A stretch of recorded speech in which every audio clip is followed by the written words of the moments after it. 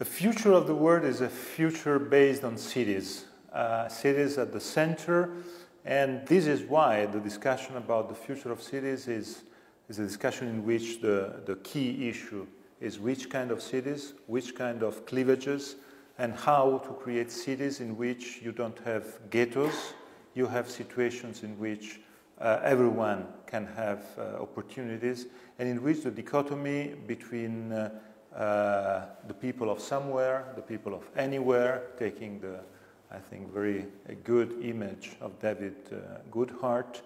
is not taking place. How to close the gaps, the gaps between uh, different ethnic origins, how to close the gaps between languages, how to close the gaps between level of education.